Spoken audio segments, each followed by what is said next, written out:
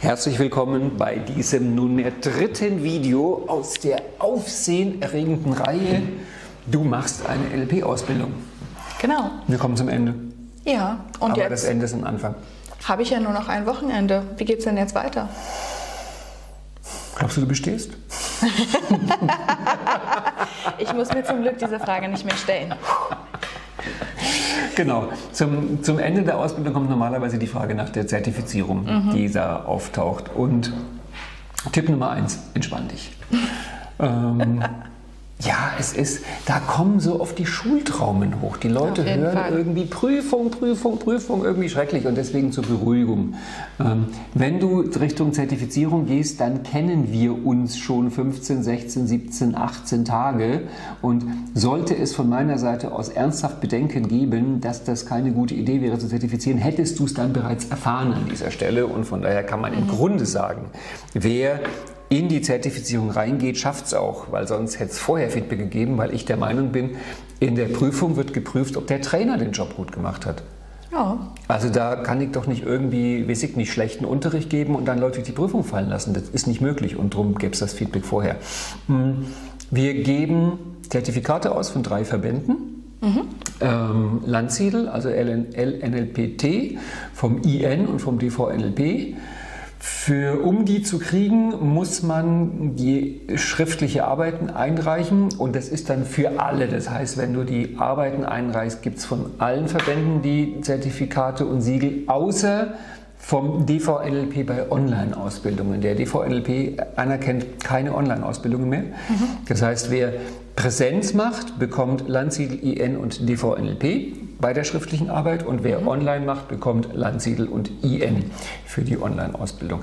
Es gibt in jeder Stufe ist eine Sache gleich, nämlich das schriftliche Neu und Gut. Also pro Trainingstag die Frage beantworten, was war neu und gut inhaltlich und was war neu und gut für dich persönlich in deiner Entwicklung. Und dann für jede einzelne Stufe noch eine stufenspezifische schriftliche Arbeit, die sagen wir jetzt nicht. Ne? Das ist so der Klassiker.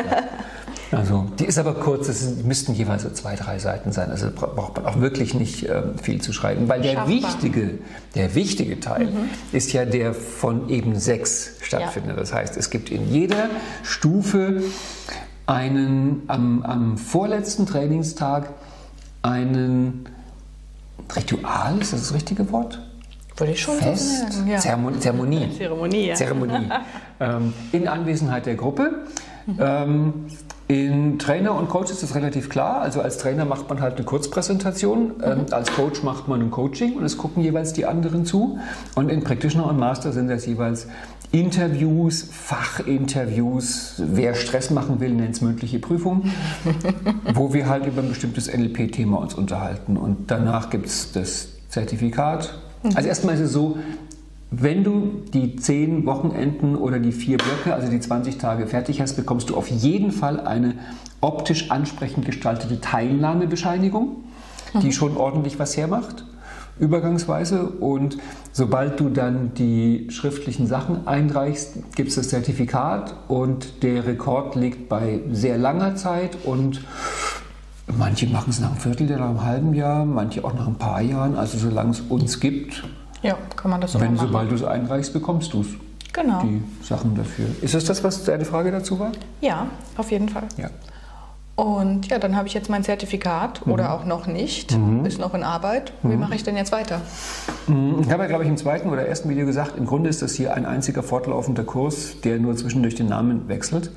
Also die meisten machen in irgendeiner Art weiter und manchmal wenden sie sich vertrauensvoll an dich, weil sie wissen wollen, was von den sieben Möglichkeiten, die ich jetzt zum Weitermachen habe, ist die beste. Und ich antworte dann alle. Weil das Schlimme ist, hätte ich nämlich auch gesagt, im Ja. Grund, es ist fast egal. Es ist fast egal.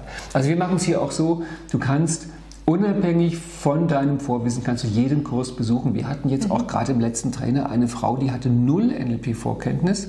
Äh, Judith, mit der habe ich auch einen Podcast gemacht über Schule und Lernen. Die, die kam ohne Vorkenntnis in den Trainer, hat ihr unglaublich viel gebracht. Das Einzige, was in dem Fall ist, es gibt natürlich kein Zertifikat dafür mit einem Verbandssiegel, weil da muss man die Reihenfolgen einhalten, dass man halt erst Practitioner macht und dann Master und dann Wartezeit und dann Trainer. Aber wer sich zutraut vom Wissen, ist in jedem Kurs willkommen. Das Einzige, wovon ich wirklich ab, also Practitioner und Coach ist eh zum Einsteigen.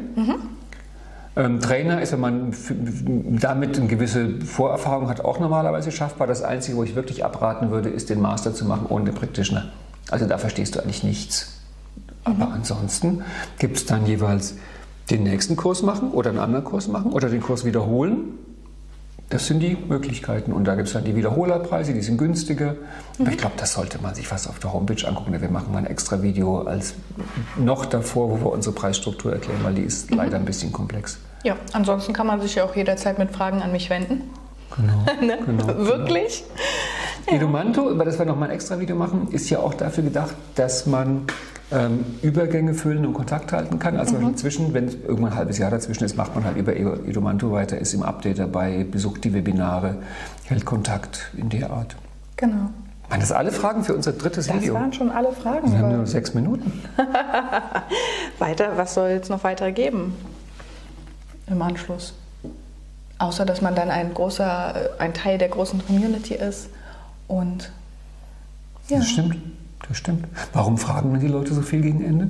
Ich glaube, die Hauptfrage ist immer Zertifizierung. Ja, das ist immer? Zertifizierung. Irgendeine bestimmte Frage zur Zertifizierung, da machen sich ganz viele Leute mhm. den Kopf. Dabei ist es ne, so ein schönes Ereignis, dieser Abschluss. Also es wird mhm. wirklich zelebriert, der Abschluss. Mhm. Und es ist wirklich, ich erinnere mich gerne daran zurück, ja. Ja, jetzt vor allem wirklich, das, wir haben jetzt das letzte Mal das äh, auf die Art gefeiert im Trainer, wie wir es noch nie mhm. gemacht haben. Und jetzt auch angefangen im Practitioner zu feiern. Es ist schon wirklich schön ja.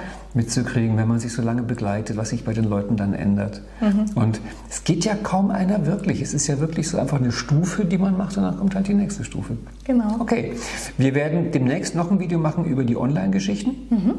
und vielleicht noch mal eins ganz davor, wo wir die, die Kurs- und Preisstruktur erklären. Ja. Für heute war es das. Mhm. Tschüss. Tschüss.